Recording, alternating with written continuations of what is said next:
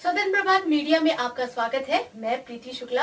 आइए ले चलती हूँ आपको आज दिन भर की बड़ी खबरों की।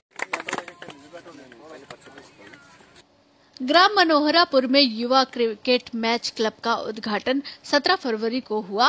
मैच का उद्घाटन बेसिक शिक्षा, वेलफेयर एसोसिएशन के जिला अध्यक्ष संजय कुमार त्रिपाठी द्वारा फीता काटकर किया गया।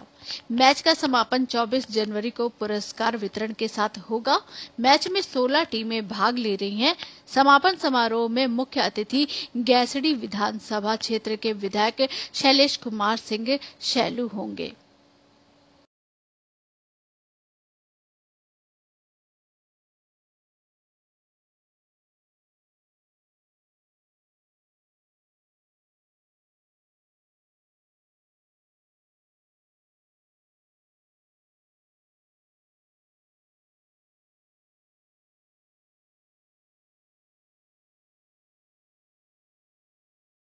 लगातार खबरों के लिए बेल आइकन दबाएँ और हमारे साथ जुड़े रहने के लिए स्वतंत्र प्रभात समाचार को सब्सक्राइब करें।